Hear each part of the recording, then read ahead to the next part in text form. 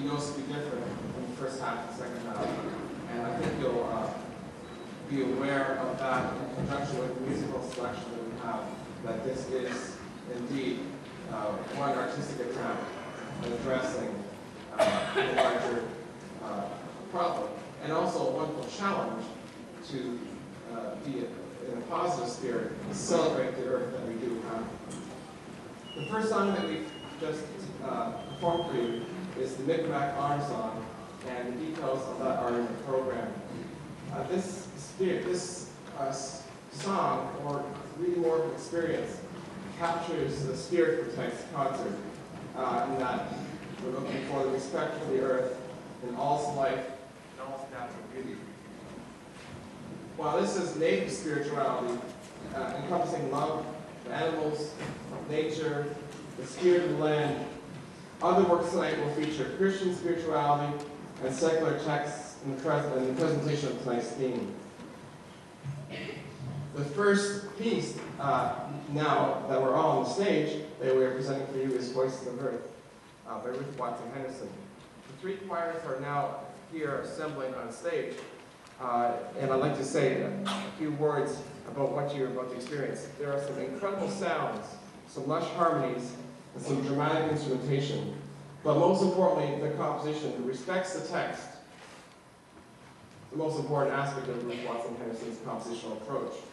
And these texts by St. Francis of Assisi and Canadian poet Archibald Lampman were written out of respect and passion for the earth. Because of the magic of technology, you will be able to hear the text and music as well as see the text and illustrated depiction on the overhead screen. And before we sing, I'd just like to point out a few of the musicians that are, have allowed us to share this composition tonight.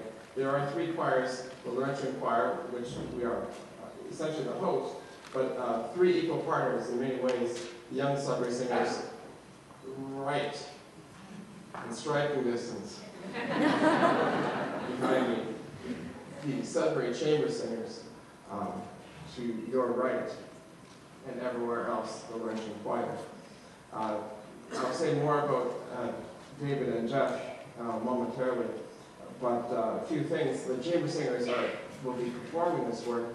Uh, their part was originally written for the Elmer Iseler Singers, which is a professional choir and one of the first professional choirs in Toronto who act- actually requested the- hardest pa- part that they could find. So they've, uh, they've, they've taken on quite the challenge. Ian and Sally are playing percussion for this presentation.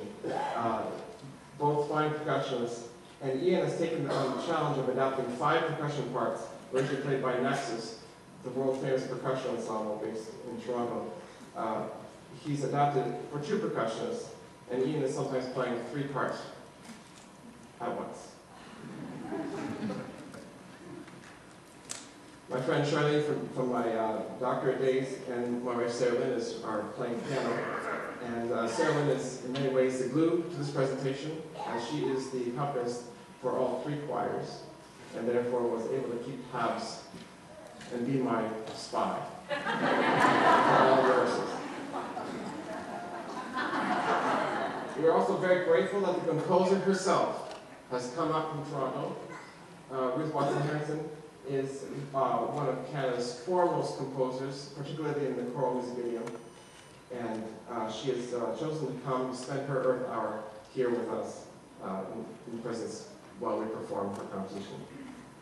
We just enjoyed a master class that she presented uh, for the Ariana singers and uh, the uh, singers last night, and that was an extremely valuable experience personally. Now, here is uh, music uh, this is Voices of Earth, and this is the Northern Ontario premiere of the work.